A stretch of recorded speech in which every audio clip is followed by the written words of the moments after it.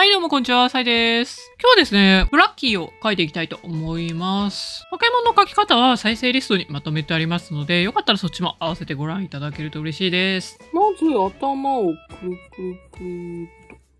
で、ちょっとこの額のところで斜めに落としていきます。で、鼻のところを出していって、口につなげていきます。で、鼻をちもっと描いて、で、またくるくるくるっと。で、ここから首につながっていきます。で、目は斜めにグイーンと上げて、で、ちょっと丸めに落としていきます。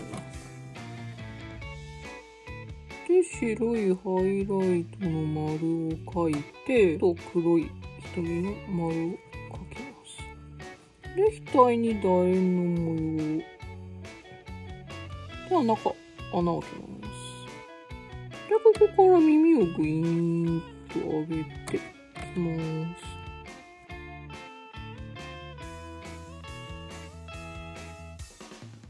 で、ここに黄色のラインを描きます。で、この長さはだいたい揃える形で、こっちも耳をグイーンと。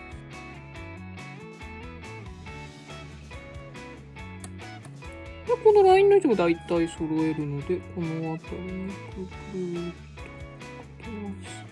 で、後ろはこう、つながっていって、で、ちょっとここ斜めに落として、お尻につなげていきま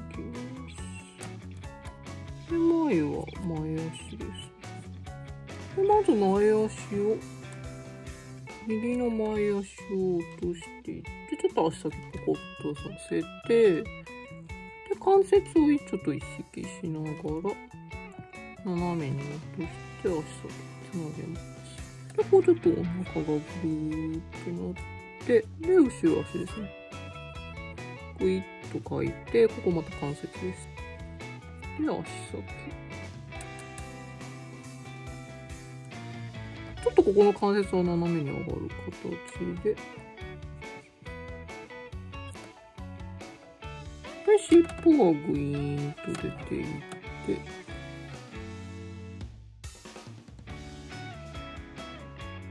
ここにもラインを、尻尾の先のラインを入れます。くるくるっと入れて、で、後ろ足はお尻からこう、つながってきて、で、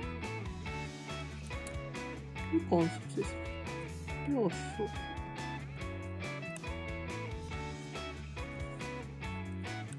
で、ちょっとお尻。で、左の前足は右の前足で若干隠れるんですが、ちょっとだけ見えるっていう感じになりま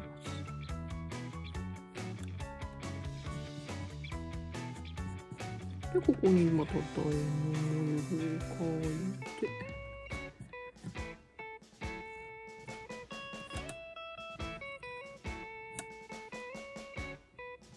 で、ここはちょっとこの角度がつくので、形が崩れるって感じですね。まず楕円の部分を山吹色で塗っていきます。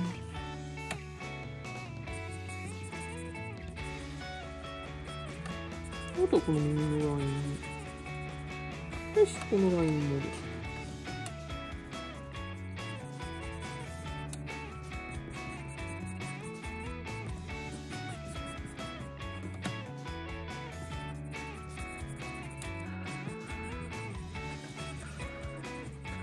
目は赤で塗っていきます。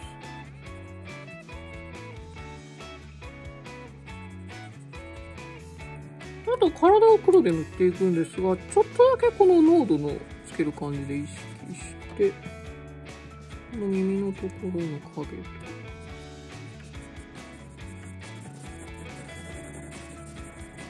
と、あとはこの鼻下のところもちょっとここに影を意識します。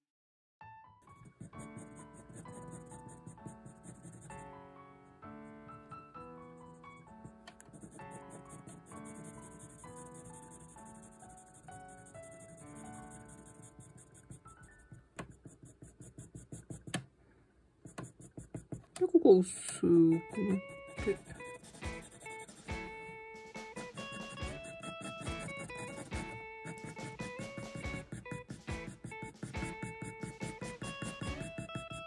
とはちょっとお尻のこの辺りもハイライトを入れたいと思います。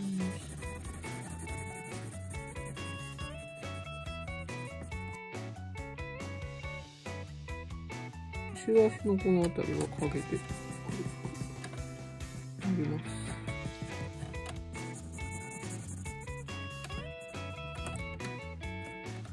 よしよ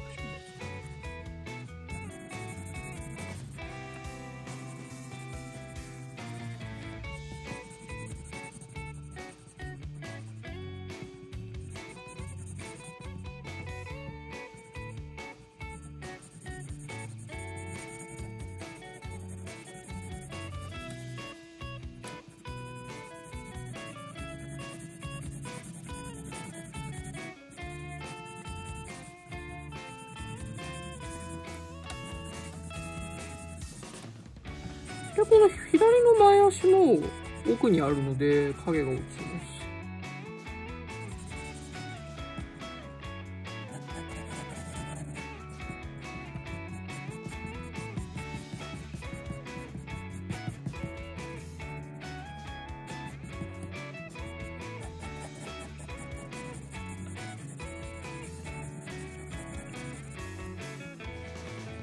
お尻のこの辺り薄く塗って、で、尻尾もこっち側に影が落ちる感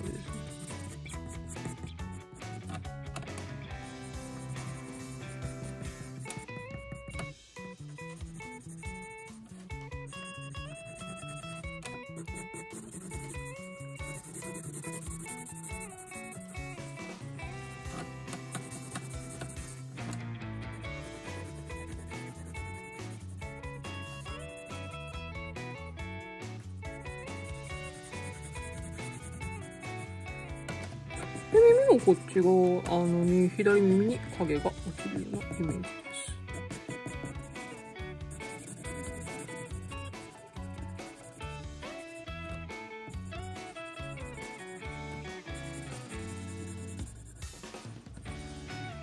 はい、というわけで完成です。もし参考になったらチャンネル登録やいいねボタン押してもらえると嬉しいです。で、何かあの書いてみたいリクエストがあれば、ぜひコメント欄で教えていただけると嬉しいです。はい、というわけで今回の動画は以上になります。最後までご視聴ありがとうございました。